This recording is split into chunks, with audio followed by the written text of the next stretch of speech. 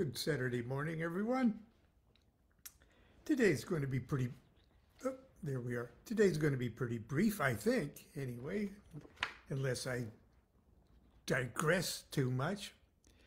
We've been uh, talking over the last uh, few days about uh, the difference between uh, the adherence to a magical formula or the or the, the magicians working the magical formula of an aeon, and uh, the difference between the, the adherents, which are actually uh, manifesting the, the formula of the aeon in the world, and drawing a distinction between just the adherents of the formula uh, and the adepts of the formula.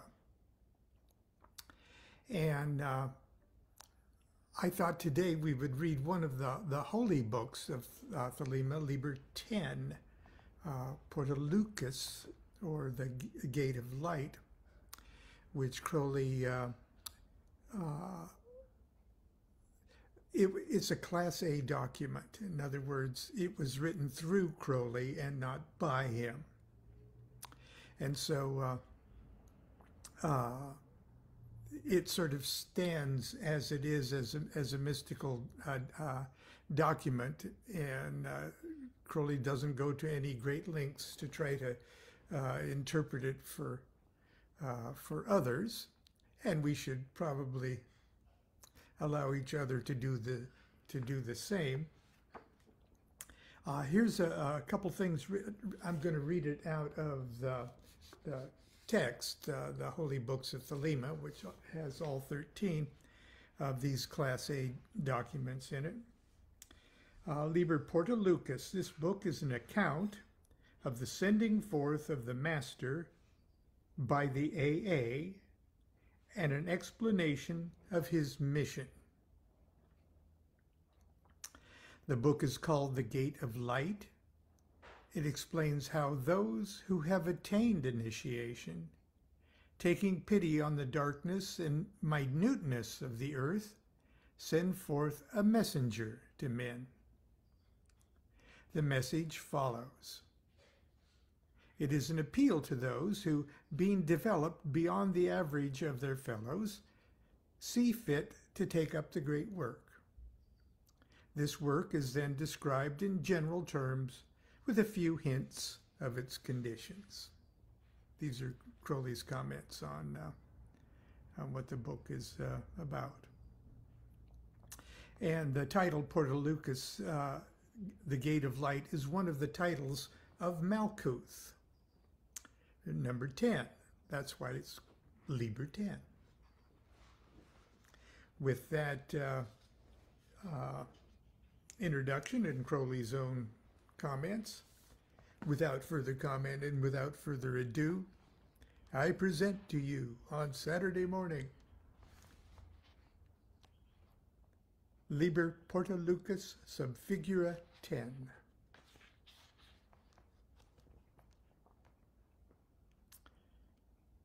I behold a small dark orb, wheeling in an abyss of infinite space. It is minute among the myriad vast ones, dark amid a myriad, a myriad bright ones. I who comprehend in myself all the vast and the minute, all the bright and the dark, have mitigated the brilliance of mine unutterable splendor, sending forth V, V, V, V, V, as a ray of my light, as a messenger unto that small dark orb. Then V, V, V, V, V taketh up the word and saith, Men and women of earth, to you I am come from the ages beyond ages, from the space beyond your vision, and I bring to you these words. But they heard him not. for they were not ready to receive them. But certain men heard and understood, and through them this knowledge shall be made known. The least, therefore, of them, the servant of them all, writeth this book. He writeth for them that are ready. Thus it is known if one be ready, if he be endowed with certain gifts, if he be fitted by birth, or by wealth, or by intelligence, or by some other manifest sign. And the servants of the master by his insight shall judge of these. This knowledge is not for all men. Few indeed are called. But of these few, many are chosen. This is the nature of the work.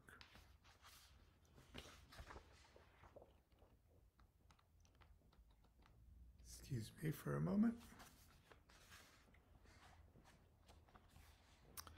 First, there are many and diverse conditions of life upon this earth. In all of these is some seed of sorrow. Who can escape from sickness and from old age and from death? We are come to save our fellows from these things. For there is a life intense with knowledge and extreme bliss, which is untouched by any of them. To this life we attain even here and now the adepts, the servants of VVVVV, have attained thereunto.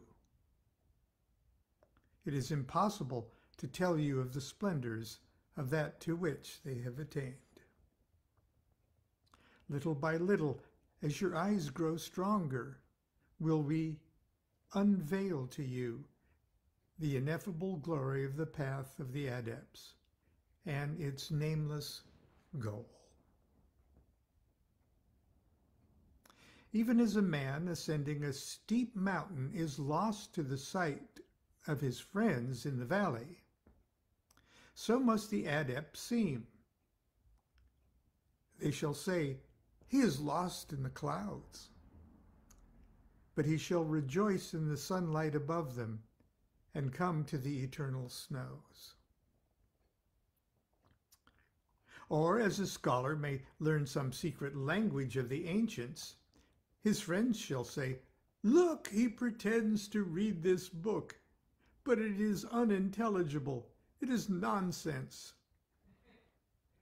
Yet he delights in the Odyssey, while they read vain and vulgar things.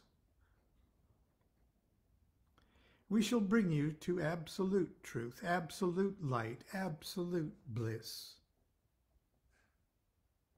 Many adepts throughout the ages have sought to do this, but their words have been perverted by their successors. And again and again the veil has fallen upon the Holy of Holies. To you who yet wander in the court of the profane, we cannot yet reveal all.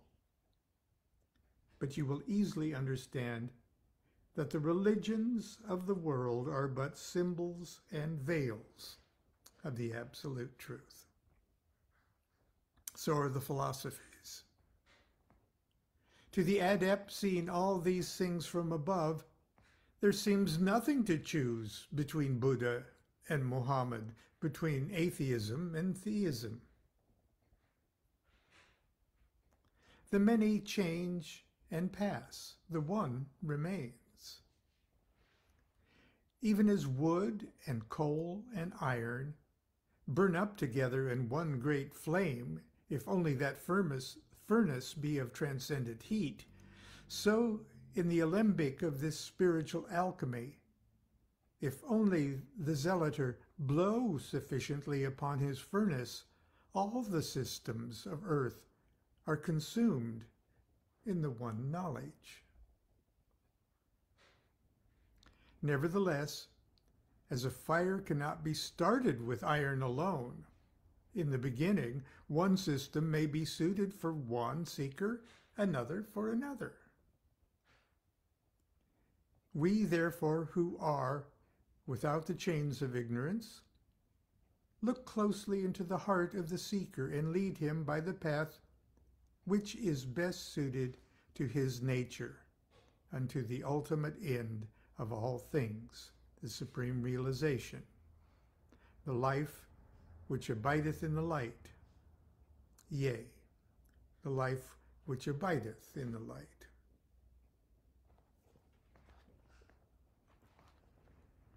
Wasn't that a sweet little book?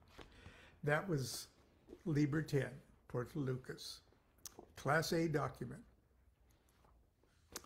Channeled through Crowley in around 1907, I, I believe. But anyway, that's it for today. It's a short class. I'm sure you're relieved. Anyway, tomorrow will be Sunday school. I hope we uh, have something fun to do for Super Bowl Sunday. Last week, the, or last year, the oracular chicken picked the winner, but she says she doesn't want to do that. But uh, this year, but do you, oracular chicken?